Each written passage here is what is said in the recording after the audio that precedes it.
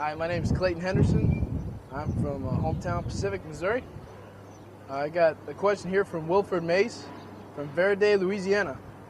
They ask, uh, with all the gear you wear, do you ever get used to the heat over there? And the answer is yes, you get used to the heat over here. Uh, it all depends on what time of the year you come here. And I came here before it started getting really hot. So it's a slow but steady process. Slowly getting warmer, and I'm getting used to the heat. It's, uh, it's not so bad. They're always making changes with all the equipment. And the equipment today is really high speed, it's really cool. So yeah, the heat, it's not a problem. You'll get used to it. Go Army.